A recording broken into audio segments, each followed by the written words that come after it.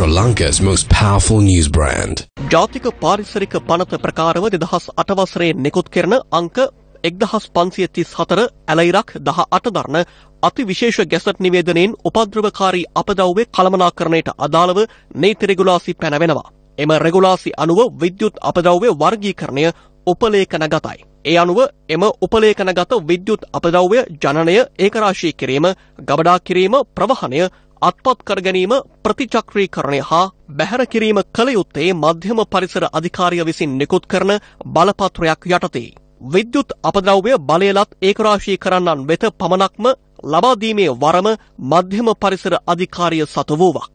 පරිසරයට අගතියක් නොවන පරිද්දෙන් විද්‍යුත් අපද්‍රව්‍ය කළමනාකරණය සෑම පුරවැසියෙකුගේම වගකීමක් වනවා සේම එම අපද්‍රව්‍ය උපද්‍රවකාරීය යන්න සෑම පුරවැසියෙකු විසින්ම අවබෝධ කර ගැනීම අත්‍යවශ්‍ය වනවා. මධ්‍යම පරිසර අධිකාරිය විසින් අවසන් වරට නිකුත් කර ඇති බලපත්‍ර අනුව ආයතන දොළහකට විද්‍යුත් අපද්‍රව්‍ය ඒකරාශී කිරීමේ බලය හිමි. විද්‍යුත් අපද්‍රව්‍ය ඒකරාශී කර හෝමාගම කිරිවත්තුඩුව ප්‍රදේශයේ මෙලෙස ගබඩා කර ඇත්තේ අදාළ බලපත්‍රය කල් ඉකුත්ව ඇති තත්ත්වයක් තුළයි. මෙම ආයතනයේ හිමිකරුට අනුව මෙම ආයතනය විසින් රටේ මුළු විද්‍යුත් අපද්‍රව්‍ය තොගෙන් සේට දොළහයි දශම පහක් ඒකරාශී කරනවා. පරිසර අධිකාරියට ඉන්නවා මහත්තයා ලයිසන් එකක් දෙන්න රුපියල් 25000ක් මේ ගන්නවයි කියන නිලධාරි කොට මම කවදාවත් පගාව දීලත් නැහැ මම කවදාවත් පගාව දෙන්නෙත් නැහැ. මම කිසිම කෙනෙකුට එහෙම අනවශ්‍ය විදියට මේ මෙහෙම කරලා මගේ පර්ස් එකෙන් මං ජීවිතේට පොලිස් කාර්යවලට මම රුපියලක් දීලා නැහැ. මගේ අතින් මං දීලා නැහැ කවදාවත්. වෙන කෙනෙක් දාලා දීලත් නැහැ. හරිද?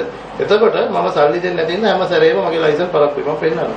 ගිය අවුරුද්දේ ලයිසන් එක දෙන්න දීලා දීලා බාර දුන්න දවසේ ඉඳලා දවස් 341ක් මේ අවුරුද්දේ මේ වෙද්දි දවස් 270කට සෝරි 265කට වැඩි. මේ අද වෙනකොට. අවශ්‍ය කරන බලපත්‍රය අලුත් කිරීමකින් තොරව මෙම උපද්‍රවකාරී කර්මාන්තය ඉකුත් අඟහරුවාදා දිනේත් ක්‍රියාත්මක වෙද්දී කහතුරුව පොලිසියේ ස්ථානාධිපතිවරයා එහි පැමිණියේ ඒ සම්බන්ධයෙන් අප කරමින් සිටි මාධ්‍ය ආවරණ කටයුතු සඳහා සීමා පැනවීමටයි.